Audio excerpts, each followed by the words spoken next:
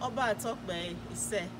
Hi everyone, my name is Shirley Davis. I'm a member of the Rotary um, Club of Gahanna and um, one of the facilitators with um, who just completed a project called uh, Ibota Storytellers Club.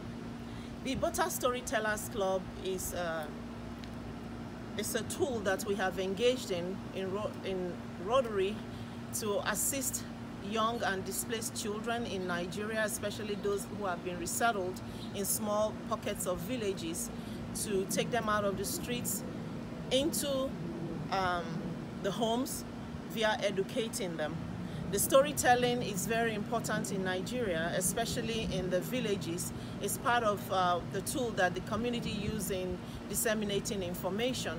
So Rotary has partnered with Engrace Royal Academy to um, use that tool to open the minds of the young people and educate them.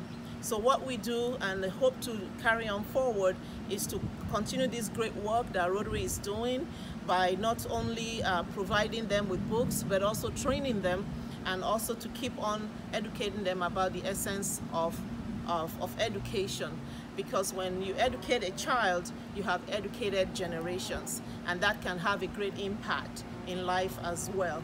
Rotary is very dedicated to um, to improving global education and we need your assistance, we need your help.